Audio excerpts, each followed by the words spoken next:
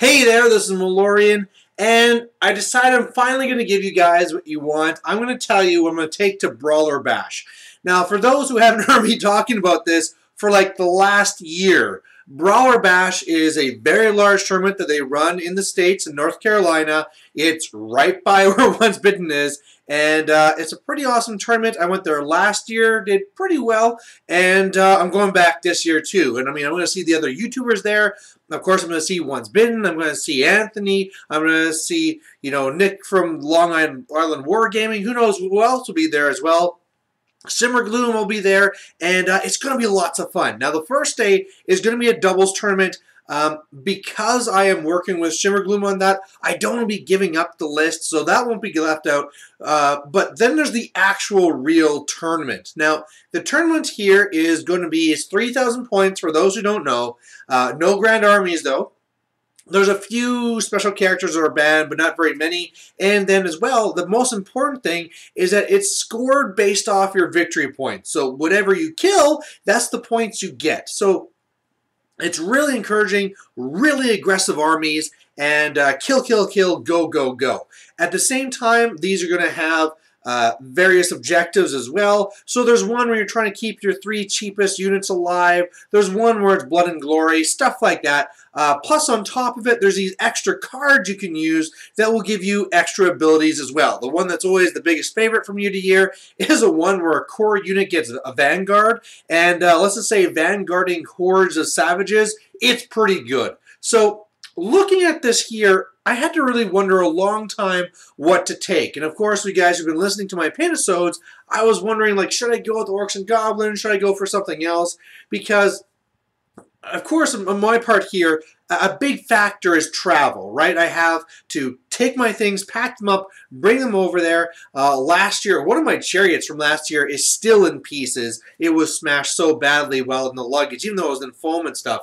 Uh, so for this one, I, I, really want to think about travel, and at the same time, I, I also had a couple of big things to decide. One, they also go and they rate your, there's another prize for best in race. So one of the other options you can always go for is, well, what's one of the races that I'm really good at that other people probably won't be bringing lots of? And so there's some options there. I thought like I could take my dwarves, I could might even do high elves, something like that. For a while I was even wondering if wood elves could work, but now that the new wood elves are out, uh, I'm, I'm guessing I'm going to be seeing my fair share there.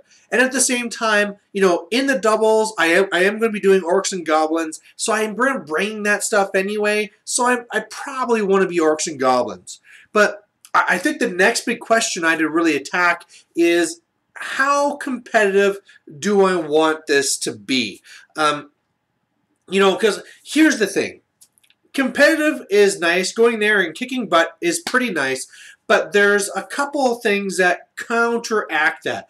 On one part, I might not want to be ultra competitive just because I want to be there and having fun, right? Like maybe I just want to bring out the same boring army I always bring out and I want to try something different. I mean, when I first went through and made, like, what would be my Orcs and Goblins list for this year's Brawler Bash? If I was going to go and try and win by the, the same points as last year, well, it turned out to be exactly the same list as last year because it's the same scenarios, same objective, and uh, nothing's really changed. I mean, uh, last year I had double Doom Divers, double Rock Lobbers to deal with the Doom Princes, and, and that's still the same thing that applies now. A year later, exactly the same list. And I, I didn't want to bring exactly the same list, since I, especially since I know other people will be bringing lists very similar to mine. So I wanted to take something that'd be a little bit different. So from that point there, I, I first thought, all right, if I don't want to take something that's exactly like these Orcs and Goblins,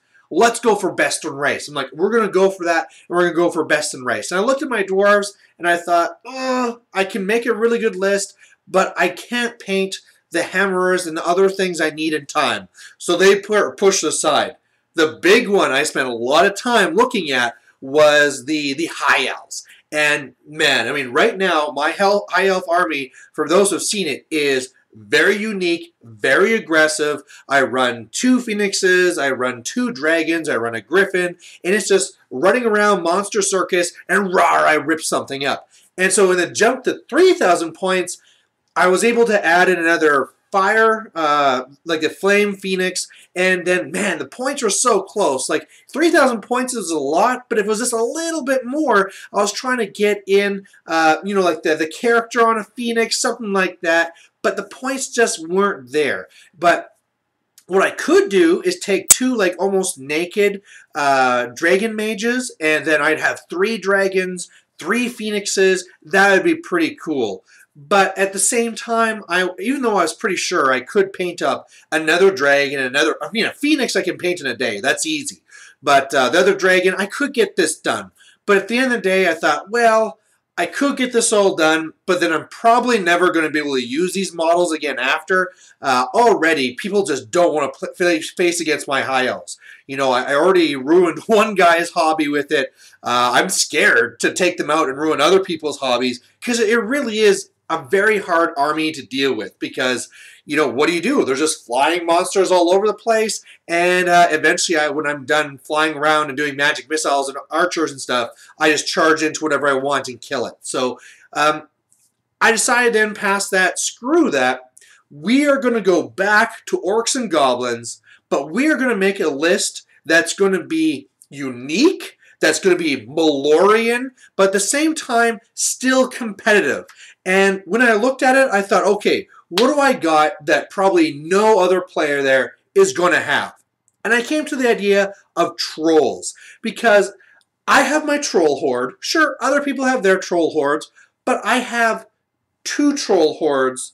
And I also have like my river trolls, my stone troll, and I could do this with Throg. I also own Throg, but the big thing here is that from game to game, uh, first of all, there's there's always kind of like the whole thing we have to worry about blood and glory. There's the actual blood and glory, and for those who don't know, if all your points and all your core is in trolls, you have no banners, and you kind of lose blood and glory pretty bad. Plus, like I said, I want it to be the Malorian army, so I want to go with the orc version. So the first thing I did when making my list is Troll Horde, Troll Horde. So this is 1,260 points of plain old trolls. There's two whole big hordes of trolls, and that's where I started the list. Uh, past that, I was like, let's add a horde of river trolls. So I go and do that, but unfortunately at 3,000 points, you can't quite do it. You can fit in 16, but not the full 18.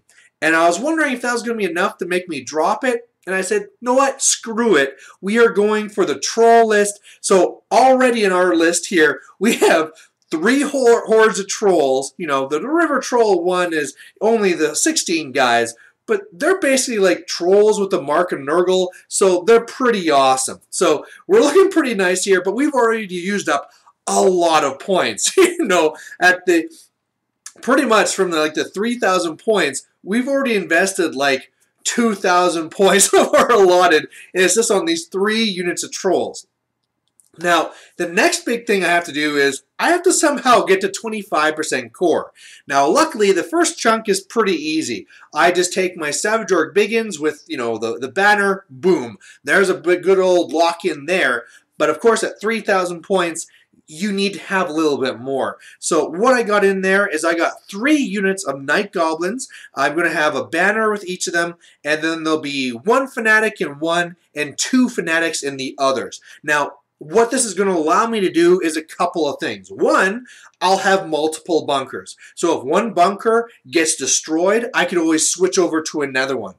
Plus, if I'm up against an army that has a lot of chaff or a lot of things running around to get my bunker, well, come on at me. All these fanatics are going to go after you. I mean, just think of like, even if a demon prince flies over to get me, if I hit a demon prince with five fanatics, he's going to regret coming after my bunkers. So that'll be very nice. Plus, depending on the army I'm up against, I can always have one bunker in the back if I feel safe enough with it, and then the other Night Goblin blocks can be up in the front, and then they can be sending off their fanatics and shooting out their bows, whatever redirectors they were going to use to slow down my trolls. So that brings me to 26% core.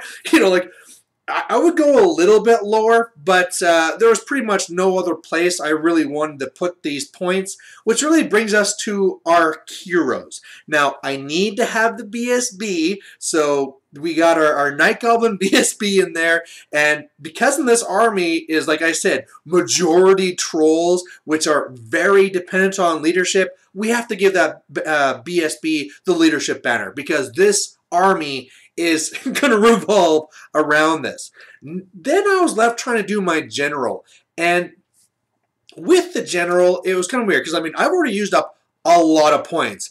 And I'm at the point here where, I mean, I could cut a little bit from my core, but I'm looking at something that has to be like around 175 points or less.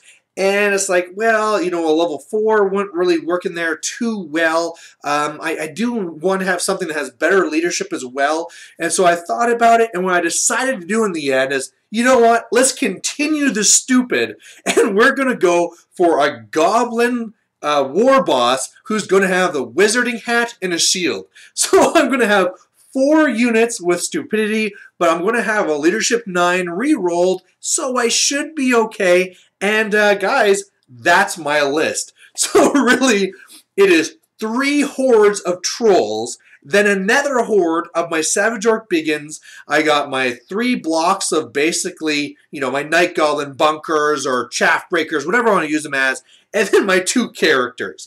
Now, if you didn't really listen to that, um, I don't have any war machines or anything like this, so the whole idea of killing things at range won't really be an option. And I'm sure at some point that's going to really burn me, right? But my hope is that, like I said in this tournament here, it is all about getting victory points. And so even though in a game it might be better off if I can snipe off this monster and get this, really the, the objective of this armor army is saying, hey, I got a bajillion trolls and a bajillion strength 5 attacks, deal with it.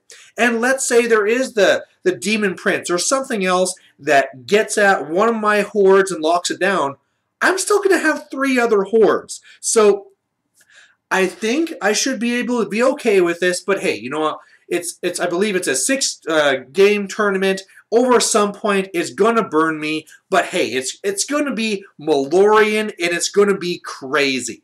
Now, of course, another thing you got to really think about this is your deployment. And when you got three units that are leadership four with stupidity, that means you have to keep them around. So really, I'm going to have my three hordes of trolls, and then behind the middle one will be at least the one bunker that has my general and stuff. Now, what that means is that the Savage Orc Big'uns, they're flank. I mean, normally the Savage Orc Big'uns, they are your center unit. They're going to rush up and they're going to rip up face. But uh, you know what? I have to say, uh, leadership be damned for them. You guys are off on a side unit, and they're just going to kind of sweep around and do their thing. And I mean, normally that they don't do well on a flank because chaff goes over to them and redirects. But I'm, I'm pretty sure my opponent will be so worried about the 2,000 points of trolls rushing at 12 inches every turn that they're probably going to be focusing on this, and that the, the Savages, which are slower and often a flank, they're just going to kind of like meander and do their thing, which will probably come in as like a cleanup wave after as well. Uh, another thing I could always do as well is that if I if I feel that the combat or the way that I'm up against with the, my matches that one of my hordes is going to fail. Let's say I'm going up another against another troll horde, or if I'm up against like the big huge gut star or something like that I can layer my units. My savages don't have to be on the side. They can always be a second wave or, or something like that. So, you know, I, I do have that option as well. But uh, yeah, it is a crazy list. Um, I know there's been people asking for it for a while, but honestly, it was just in the last week here that I finally went and put it together, and uh, we'll have to see how it does. So uh, please, down below, if you wish, you can go and you know, make your guess of, you know, out of six games, how many games you think I'm going to win. Um, I'm going to be playing against Once Bitten and probably his Empire, so we'll see if, you know, what do you think I'll do against uh, a Once Bitten Empire-led army? You know, what is he going to do against all these trolls? I mean, clearly the steam tank is going to go into one of these trolls. I'm just going to go and just puke all over that steam tank, and it's going to be fun. So uh, anyway, there you go. There's my list. Uh, if you think I'm crazy, go ahead and let me know. But otherwise, thanks for watching. And uh, Brawler Bash is just in a couple of weeks, so look forward to a ton of battle reports. So see you then. Bye.